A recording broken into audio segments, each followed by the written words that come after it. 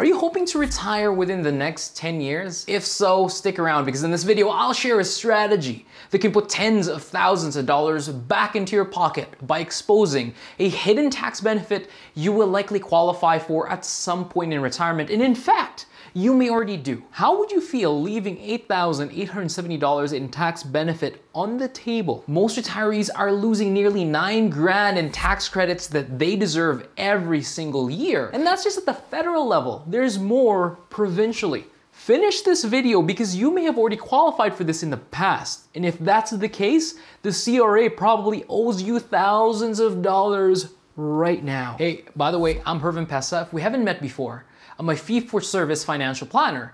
And this channel is designed to help you retire with clarity and confidence so that you can enjoy your best retired life. We want you to rule retirement. If that resonates with you, I publish regular videos talking about all the strategies that I help implement for my clients. So consider subscribing so you never miss any of them and like the video if we gave you any value at all. The disability tax credit could be one of the most valuable credits that retirees miss.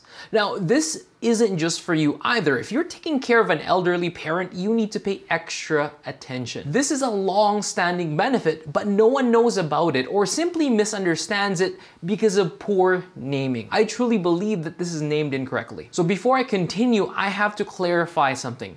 The word disability or disabled is a misnomer. You don't need to be diagnosed with one specific disability, infirmity, or illness.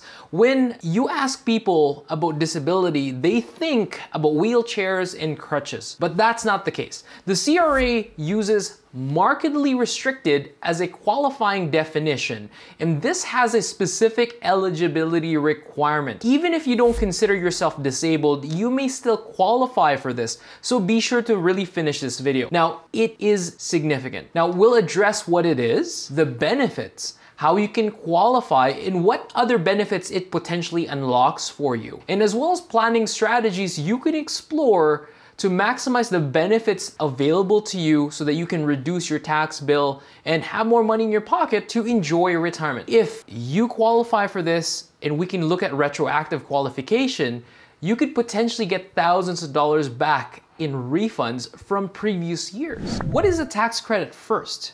Now, tax credits reduce your tax payable directly, unlike tax deductions that reduce your taxable income. Think of it as prepaid taxes. You multiply most tax credits by the lowest tax bracket provincially and federally. So what is the disability tax credit and how much is it worth? It's a non-refundable tax credit. This means it reduces your income taxes down to zero. Remember this information for later. It's designed to help alleviate the additional costs of disability, costs that otherwise won't be incurred if someone didn't have the disability or the physical limitation. It's also available for those that help a disabled child or a relative, like a mom or dad, or somebody close to you in your family. It's also a qualifying factor for other social assistance programs like the Registered Disability Savings Plan.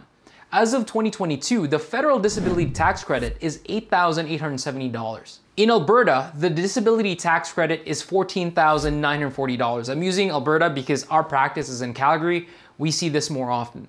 Now, these credits are significant. I have other provincial disability tax credits broken down in the supporting article below if you want to visit our site. For an Alberta resident, this is worth $2,824.50 in tax payments. So how does the disability tax credit affect retirement income planning? Retirement income planning focuses on strategic decumulation of assets. This includes managing investments, maximizing government benefits, and of course, minimizing taxes. So our aim is to give you the most sustainable income possible for the rest of your retirement. To do that, we use every credit available in your benefit, and you should do the same thing. So speak to your accountant, speak to your financial planner, and speak to your advisor so that you can put more dollars in your pocket. It's not just about knowing that these credits exist either. It's learning who should claim it, when it should be claimed, and how it could affect other strategies so that you can lower your overall tax bill in your retirement. Let's talk about strategies to take advantage of the disability tax credit, namely who should really claim it.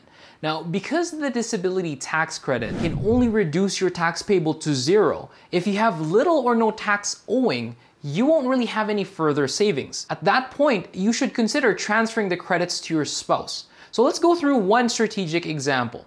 Let's meet Henry. He's 70 years old. He's qualified for the DTC. He and his wife, Jane, retired last year. However, Jane stumbled upon a business accidentally. You know, she's got a crafting hobby during the lockdowns. She started selling stuff on Etsy, and last year, she made a killing. This year, she's on track to make $40,000 working part-time in 2022. Henry's taxable income this year is nominal, so he should transfer the tax credits to Jane, reducing her tax payable this year. And this is done through a simple election once they file taxes. In fact, it's not just your spouse that you can use this with. The disability tax credit can be transferred to a parent, a child, or a grandchild if you're supporting them or they're supporting you.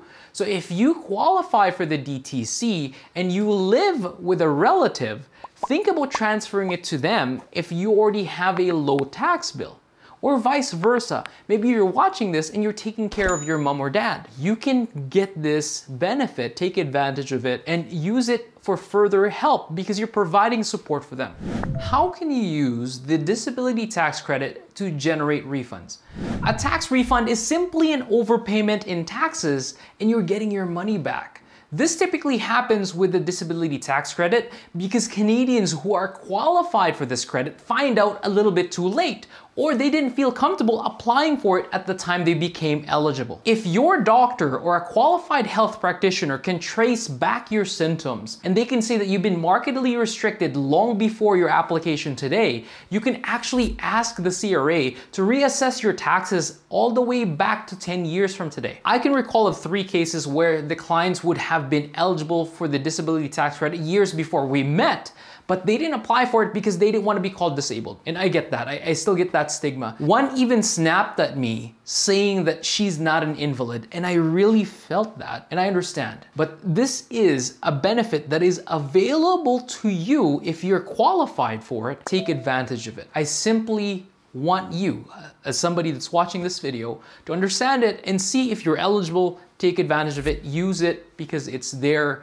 to help you. I'll share one story because it's close to heart. I met a mom who has been providing clear, outsized support for her son. It was a difficult conversation for me because of the stigma that's around developmental disabilities. These parents didn't want to have their child assessed, and I, I, I get that as a dad. I'm scared, but I'm lucky that I don't have to deal with that. So after multiple conversations, a referral to a specialist, they were able to determine that their boy had faced the same challenges for at least eight years. The credits were transferred to the dad going all the way back to 2012 and this was done in 2018 so seven eight years. We transferred it to the dad because he's the one that had tax owing on those previous years. That was a substantial refund for that family. So who qualifies for the disability tax credit? How do you know if you're eligible? Before you can use the DTC you and a qualified practitioner have to complete form 2201 and submit that to the CRA for approval. It's not automatic but remember, approval is not based on one specific diagnosis or illness. They will review your file and see whether you're markedly restricted or equivalent to markedly restricted. The CRA will review the definition based on the following criteria. Number one, first of all, your impairment must be prolonged and severe enough to last at least 12 months. It must also be present at all times or substantially all the time, which they use a 90% benchmark for. Next, you have to have the conditions that meet the following criteria. One, you're blind or legally blind based on their definition. And two, you receive life-sustaining therapy. The third criteria is grouped all together, but essentially the impairment causes you, even with medical devices or tools, to have limitations in one or more of the following categories. Speaking, hearing, walking, eliminating, which is going to the washroom, feeding yourself, dressing yourself, and have issues with mental functions that are necessary for everyday life. Let me go into that in more detail. Speaking. You're unable to speak or take an inordinate amount of time to speak to somebody that you're familiar with and they can't understand you in a quiet setting. Hearing.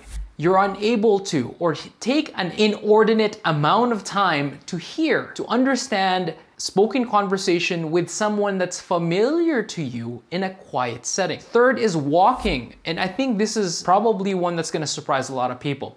If they're unable to walk, or take an inordinate amount of time to walk. They use a 100 meter test. But think about it this way. What is an inordinate amount of time?